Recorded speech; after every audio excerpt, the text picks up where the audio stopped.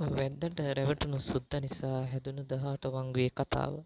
ලංකාවේ තියෙන පාරවල් අතුරින් ඉතා විශේෂත්වයක් ගන්නා එක් මාර්ගයක් ගැන තමයි මේ කියන්න යන්නේ. සංචාරකයන් පවා ලංකාවට ආවොත් මේ දහඅට වංගුව අමතක කරන්නේ නැහැ. මොකද ඒ තරම් විශේෂත්වයක් එහි ගැබ්වෙලා තියෙන නිසා. ලංකාවේ තියෙන ඒ ශ්‍රේණියේ මාර්ග අතුරින් හැමෝම යන්න කැමති පාරවල් දෙකක් තියෙනවා. එයින් එකක් තමයි මහනුවර ඉඳලා යාපනයට යන ඒ9 මාර්ගය. අනිත් මාර්ගය තමයි මහනුවර ඉඳලා මහියංගනයට යන ඒ26 මාර්ගය. මේ මාර්ගයේ තමයි අද අපි කතා කරන වංගු 18ක් තියෙන්නේ. මෙහි ප්‍රපාතාකාර වැලමිට වංගු 18ක් ඇති නිසා මේ මාර්ගයේ එක් වතාවක් පමණක් ගමන් කර ඇති අයට වුණත් ඒ ගමන නම් කිසිදාක අමතක වෙන්නේ නැහැ. උඩුදුම්බර පොලිස් බල ප්‍රදේශයෙන් ආරම්භ 18 වංගුව අවසන් වෙන්නේ හසලක පොලිස් බල ප්‍රදේශයෙන්. ඉතින් කඳුකර ප්‍රදේශවල පහසෙන්ම මහියංගනයට ළඟා වෙන්න පුළුවන් පහසු මාර්ගය සකසන්නට හැකියාව තිබුණත් මේ වගේ අසීරු මාර්ගයක් හදපු එක ගැන සොයන්නම වෙනවා. ඉතින් ඒ සඳහා මේ වංගුවේ අතීත කතාව සොයා බලන්නට වෙනවා. අද වෙද්දි වංගු 17ක් පමණක් දකින්නට ඇති 18 වංගුවේ අතීත කතාව ගැන විමසන්නටයි මේ සූදානම. මීට වසර ගණනාවකට කලින් යුරෝපීය ජාතිකයින් ලංකාවට පැමිණිලා ලංකාවේ පාලනය ඔවුන් යටතට ගන්නට කටයුතු කළා. ඒ අතරින් පෘතුගීසීන්ට ලන්දේසීන්ට නොහැකුණු කාර්යයන් ඉංග්‍රීසීන් විසින් සිදු කළා. ඉතින් ඉංග්‍රීසීන් ලංකාව යටතේ විජිතයක් බවට පත්කරගත් පසුව වතුවගාව ආරම්භ කරන්නට මුල් පිරුවා. තේ රබර් කෝපි සිංකෝනාදී මෙකිනොකී වගාවන් ව්‍යාප්ත කරන්නට කටයුතු කළා. ඒ වතු වගාව කඳුකරේ ශීඝ්‍රයෙන් පැතිරලා ගියා. ඒ අතරේ යුරෝපීයන්ට තමන්ගේ නිෂ්පාදන ද්‍රව්‍ය කොළඹට අරගෙන යන්නට අවශ්‍ය වුණා. ඒ නිසා මාර්ග පද්ධතියක අවශ්‍යතාවය ඔවුන්ට දැනුණා.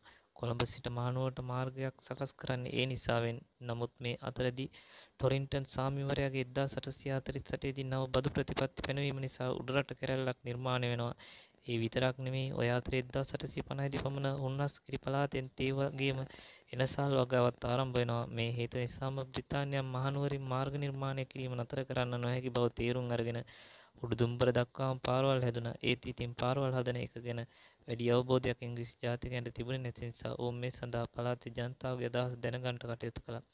එකල උඩුදුම්බර ගමේ ප්‍රධානීන් හතර දිනෙක වුණු ගම්පහ බස්නාහිර කෝරළේ, ගම්පහ නැගෙනහිර කෝරළේ, ගම්දිගේ කෝරළේ, කන්දපාල කෝරළේ යන අය කැඳවාගෙන ඔවුන් සමග මේ ගැන සාකච්ඡා කර තිබුණා.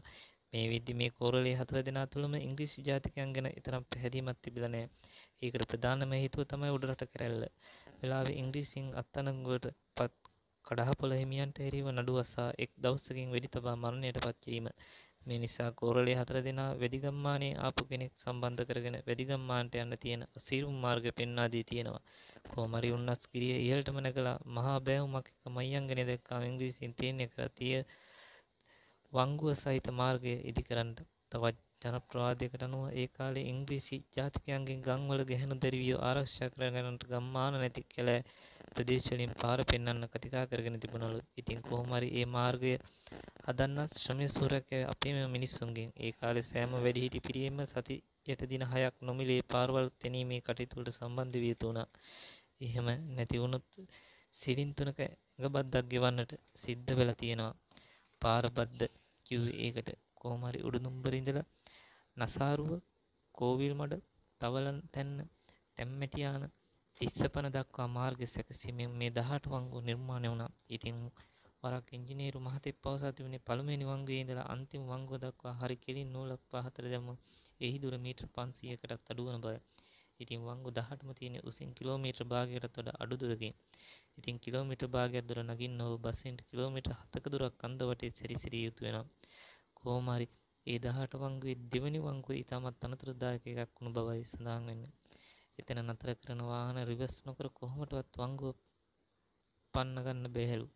එදා ගල්තාර යොදා තිබූ 18 වංගුව අද කාපට් අතුරු සුවපහසු ආරක්ෂිත සුන්දර මාර්ගයක්. එදා මීටර් 3ක් පමණ පළවෙනි යුත් මේ මාර්ගය අද මීටර් 8.5 පමණ පළවෙනි නිර්මාණය වී ඇත්තේ මන්තිරු දෙකක් සමගින්. ඒ වගේම පාලම් 9ක් බෝකුතියක් ඉදිකර තියෙනවා.